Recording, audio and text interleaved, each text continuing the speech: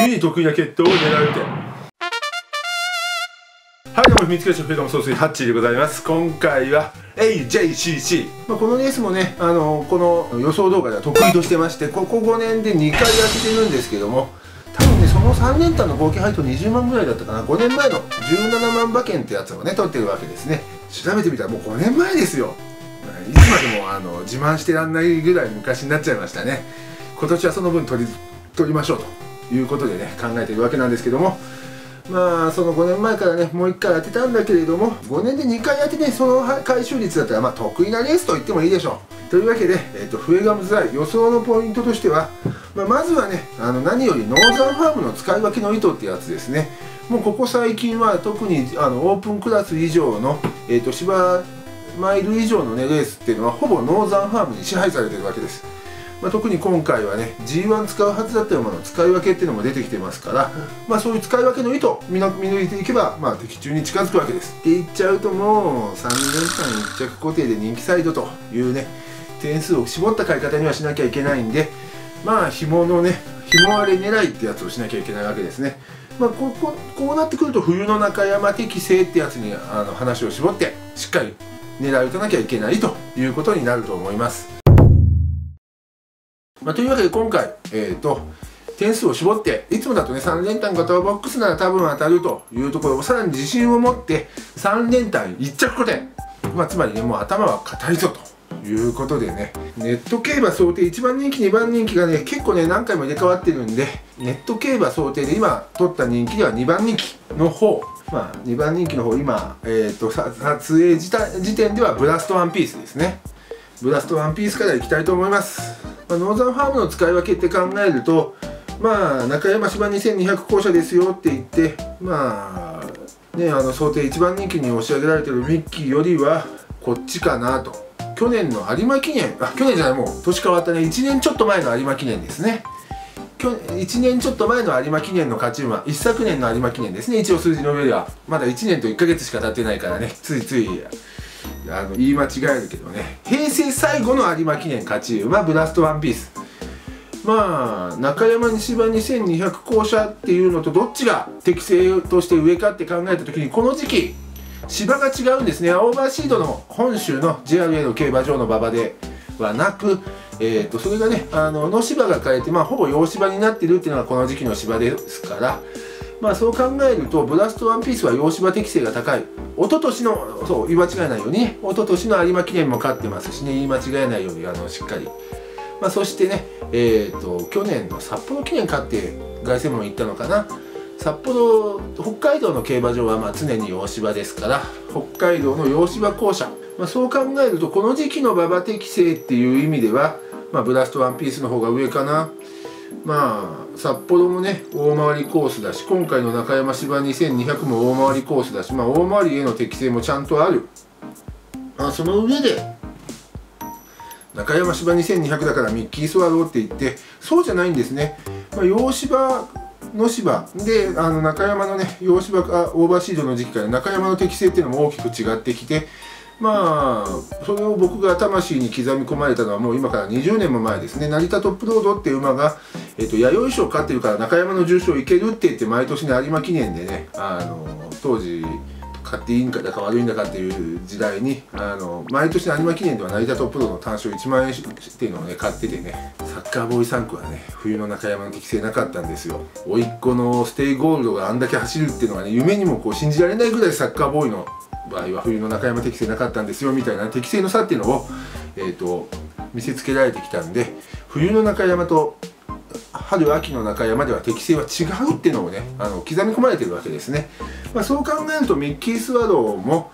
えーと、いいんですけどね、まあ、ブラストワンピースの方がこの時期の中山適性は上だろうということでこっちを1着固定で勝負してみたいと思っております。まあ、とはいええーと、一番人気ミッキースワロー。これもねあの紐には入れておこうと、まあ、2着ぐらいに来ちゃうかなっていうふうに思ってます、まあ、中山芝2200校舎であることは間違いないですし、えーと、一昨年一番人気2着。ダンビューライトに負けてるんですね。まあダンビューライトとブラストワンピースどっちが格が上かで言えばブラストワンピースの方が上ですからね。まあ、そう考えたらまあブラストワンピース軸っていうのは変わらないと思うんですがかといって一昨年まあ1番人気2着連には来てるわけで紐から外せるかっていうと外せない。もうこの馬をねそういう意味では期待値的には紐では拾わなきゃいけないんでこの馬ブラストワンピースミッキースワローの2頭が入っちゃえば3連単5頭ボックス60点だと多分鳥紙なんだよね。まあそれ考えるとこういう形にせざるを得ない。ブラストワンピース1着固定で、まあ、ミッキースワローは紐に拾うけど配当的には飛んでほしい、まあ、そんな感じの買い方でいきたいと思っております、まあ、そして、えーと、3番人気ステイフーリッシュ。ネット競馬の、ね、想定だとステイフーリッシュスティッフェリオとねあの社台ファームのステイゴールド産駒が続くからねどっちをこう買うか。まあどっちかは1頭消さないとさすがに妙味ねえぞということで取捨考えたんですが、まあ、あのステイフーリッシュの方を買えていきたいと思います、まあ、前走もね着差ほどの差が、えー、着順ほど、えーと、差があったわけではない。着差は少なかったと、まあ、3馬身程度の差で10着だったかな、まあ、そんな感じだったんでやっぱりステイゴールド産駒この冬の時期のあの洋芝になると力を発揮するなと。ステイゴールドの子もオルフェーヴルの子もそうだと。最近ね数走ってますね、まあ、そして鞍上強化っていうことでねここはもう狙いどころこっちが勝負に来てるだろうということでステイフーリッシュの方を買っていきたいと思っております、まあ、そして想定4番人気スティッフェリオ、まあ、この馬も中山芝2200向き血統って言えるっちゃ言えるんですけどね、まあ、前走大敗っていうのもありますしまあ有馬記念。そういえば有馬記念使って AJCC っていうのってあんまり良くないんですね。5年前にゴールドチップっていう馬がねあのそんな感じのローテで有馬記念から怒りの連闘ぐらいの勢いで AJCC も使うぞ。春初戦は AJCC だってきたんですけど一番人気7着に負けてくれた。僕はねその時確かねもうほぼほぼもうゴールドシップは飛ぶからもうどうせ、ま、あの大万馬券になるしあとは適当に買っても万馬券だろうみたいな買い方をして17万いただいたわけですね。あれは美味しかった。まあ、今回4番人気が消せる程度じゃねその時と同じローテが向かないまあ有馬でほん、ね、あのあのスーパー G1 であのあのメンツに囲まれて走って中2週間3週間なんか3週間で、まあ、そうそう結果出せるわけがないじゃないかみたいなところだけでねスティフェリを消せてもまあそこまで配当妙味出てこないですけどもまあ2番人気を1着固定でまあ1番人気3番人気で決まっちゃったら仕方ないけれどもそうじゃなければ4番人気も消せておけばまあそこそこね配当もついてくるようになるんじゃないかということもあってね消していきたいと思います、ま、そして5番人気ラストドラフト。この馬ね前走5番相手に重賞頭差2着に来てますしまあ去年京成杯を勝ったえっ、ー、とそして母マルセえっ、ー、とあれかえっ、ー、とマルセリーナの子だから新山記念で2着かなんか来てたのかなお母さんも、まあ、そう考えるとね冬の中山実績ありのあのラストドラフト。まあそのお母さんも冬の京都ですから。まあ、そんな感じで、えーと、冬のこの馬場が得意つまり洋芝校舎の決闘と言えるわけですね、まあ、そう考えるともう適正面そしてもう重賞2着に来てるぞというあたりでまあこれは買いでいこうかなというふうに思っております。まあ、そして想定6番人気西野デイジー、まあ、3歳クラシック戦線完走しきった3歳の一流馬と言っても過言ではないんですが、まあこれこれね乗り換わり乗り換わりが続いてますしそう考えるとね、まあ、1戦級に足りないようなパフォーマンスまあそして機種も迷走し始めたって考えたら決死ですね。まあこれで来るようだったら、まあ、菊花賞は距離が合わなかったからルメールは仕方がない。それにしても勝浦なんて下手なんだと。こんだけ強い馬であんなに負けるなんてみたいなことが言えてしまうんでそあんまりそこまでは言いたくない感じですかね。まあっていうかね、まあ、そんな感じで消しでいきたいと思います。まあ田辺もね田辺も俺の一口持ってるバントシルムっていう馬でねあの何度も踏みどころ間違えて